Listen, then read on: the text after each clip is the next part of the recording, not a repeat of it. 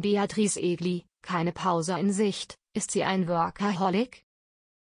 Beatrice Egli ist bekannt für ihre gute Laune und positive Energie.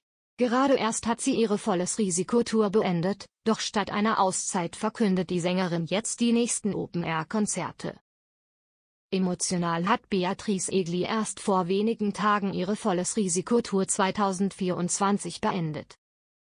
Eine schöner, aber sicherlich auch stressige Zeit, Schließlich ist die Sängerin quer durch Deutschland gefahren und hat ihre Tour sogar für ihre Arbeit als DSDS-Jurorin kurzzeitig unterbrochen. Nach so einer intensiven Zeit würden sich viele Menschen erstmal eine wohlverdiente Pause gönnen. Doch nicht Beatrice Egli. Beatrice Egli, ich freue mich total auf die anstehenden Open-Air-Konzerte. Der Schlagerstar kündigt nämlich jetzt schon die nächsten Termine für ihre Open-Air-Tour auf Instagram an und diese starten schon in drei Wochen. Ich freue mich total auf die anstehenden Open-Air-Konzerte, schreibt Beatrice Egli dazu in einem Instagram-Beitrag. Doch anstatt sich wenigstens zwischen ihren Touren eine kleine Auszeit zu gönnen, zeigt sich die Sängerin in ihren Instagram-Stories bei Fotoshootings oder macht Werbung für Produkte. Beatrice Egli, keine Zeit zur Ruhe zu kommen.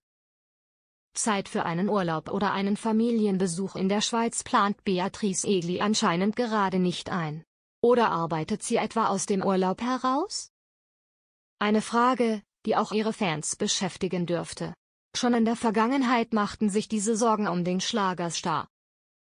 Denn neben ihren Konzerten hat Beatrice Egli auch noch ihre Beatrice Egli Show, ihren eigenen Podcast Egli Extrem, ihr neues Album Alles in Balance, leise veröffentlicht und ihren Job als Jurorin bei Deutschland sucht den Superstar. Ein Arbeitspensum, das langfristig an die Substanz gehen könnte. Wie gut, dass Beatrice Egli zu Beginn des Jahres verriet, dass sie sich im kommenden Winter etwas Ruhe gönnen möchte.